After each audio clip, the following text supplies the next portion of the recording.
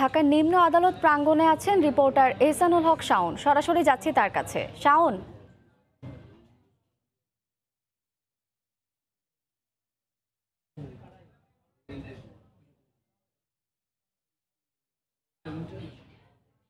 খানেক আগে মূলত আদালতে নিয়ে আসা হয় এবং সেখানে দুদকের যে আইনজীবীরা রয়েছেন এবং হচ্ছে দুদকের কর্মকর্তারা রয়েছেন।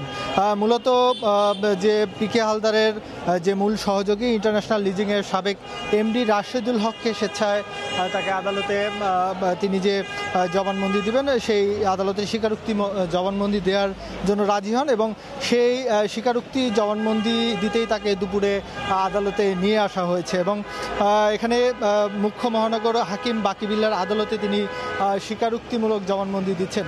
আপনি জানেন যে গত পঁচিশ জানুয়ারি পি কে হালদারের সহযোগী পিপলস লিজিংয়ের চেয়ারম্যান চেয়ারম্যান তিনি তাকে হচ্ছে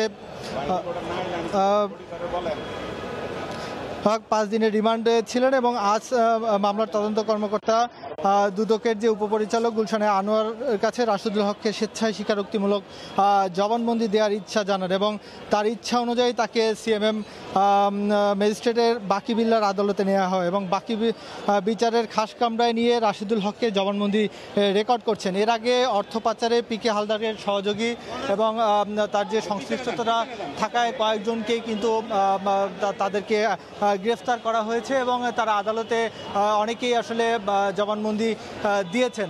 তো পিকে হালদারের বিষয়টি যেটা আমরা জানি যে তিনি যে দেশ ছেড়ে পালিয়েছেন এবং তার যে মামলার কথা বলছেন, তো সেখান থেকে বলছেন যে প্রত্যেকেই যারা এ পর্যন্ত স্বীকারোক্তিমূলক জবানবন্দি দিয়েছেন, তাতে সবাই বলছেন যে আসলে যে পিকে হালদারের যে সংশ্লিষ্টতা, তারা অনেকটাই পেয়েছে। তো এই ছিল আমার কাছে সবশেষ।